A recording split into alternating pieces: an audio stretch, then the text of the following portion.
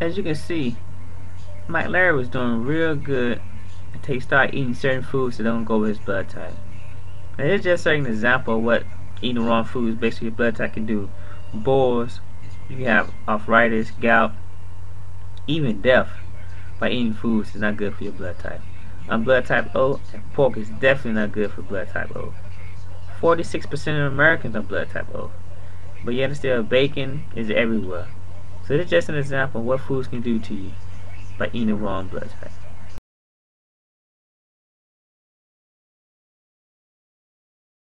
Mike Larry, can you give us an insight of what's going on lately, man? Talk to me. Okay, what's going on is this. I I'm, I'm was healing very fine, and now I say I was. Yeah.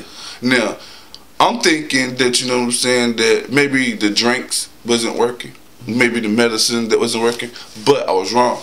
The doctor went to the doctor because I really am sick and tired of being in pain from my head. So this is what happened. Come to find out, I'm allergic to pork. Pork caused me to have boils. So basically, when, when you were doing the, the treatment, you were doing good. You were like, "Well, I'm good now, so I don't have to Yeah, but I eat wasn't. no more." But you know, I wasn't eating pork either. You know. Yeah, you wasn't. You wasn't. I mean, and then I thought about it. I wasn't eating pork, and it wasn't about you know what I'm saying like I'm Muslim or five percent Mm-hmm. or anything that non-believer like I'm not eat pork because of religion. re- re- Mm-hmm. No, I just you know wasn't eating pork because of the people that I was around. They didn't eat pork, so by they didn't eat pork, I had to eat what they eat. Yeah. I'm not a person that you know is picky about what I eat, but I am picky about who cooked my food. I feel you. So this is what happened. I was staying with these people, very nice people, and they didn't eat pork. So by me not eating pork, I was healing faster than what I was than you know what I'm saying than normal. So now to the doctor, he told me that I'm allergic to pork. Pork caused me to have um pores problem. As what you mean by pores problem is mean that as you know a pig doesn't have sweat glands. Yeah. So a pig doesn't sweat. So therefore, the meat that I'm, you know, what most people say, well, it's good, and you know, you're supposed to, it clogs my pores. Wow. So by it Make you not me- make you not sweat. yeah, it makes me not sweat. The clogs and bacteria in my skin. So therefore, I have, I'm a healthy person because the doctor said you're very healthy. But the bacteria in my liver is fighting off my white blood cell. It's fighting off the pore, uh, fighting off the pore, the poison that's in my body that's caused by pork Wow. that I'm allergic to. So it's best to know your blood type when you're dealing with certain types of food. Okay. I didn't know bananas make me gain weight, and I've been skinny for a long time. Wow. Bananas make me gain weight. If I eat a, if I eat bananas, I can gain weight. Didn't know that. Wow. See what I'm saying? And they said that was the potassium. The doctor said that that was the potassium that was gain, was giving me the uh, nutrients that I need to make me gain weight. So now I know what to do to gain weight. Eat bananas. Wow. And I've been skinny all my life. Yes. You still skinny.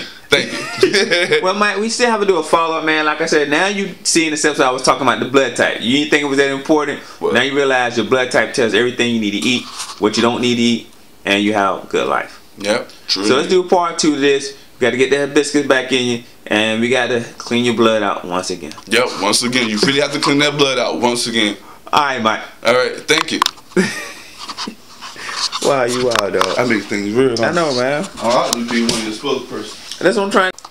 Hibiscus is very good for you. As you can see through the pictures, Mike Larry head was had pus puck coming out of it. Last days of just drinking 16 ounces of hibiscus a day. So basically, he drank an 8 ounce cup in the morning, an 8 ounce cup around midnight, around nighttime, and it did a great job for him. And you can see the benefits as well of hibiscus. It's good for lowering your high blood pressure, has a lot of vitamin C. It boosts your immune system by having a lot of iron um, in it. It lowers your cholesterol and also helping weight loss. And it's definitely good for mental clarity. So once again, we recommend the hibiscus for just heals, healing wounds, high blood pressure, and things as such. Because Mike was doing real good until he started eating that pork. And I recommend to all our clients, eat according to your blood type. I'm blood type O, so definitely pork is out of my um, repertoire. You know, there's a lot of things that you need to know about your blood type. Um, either look it up or you can give us a call on our numbers on our card 252 407 8020. And once again, Mike Larry was doing real good.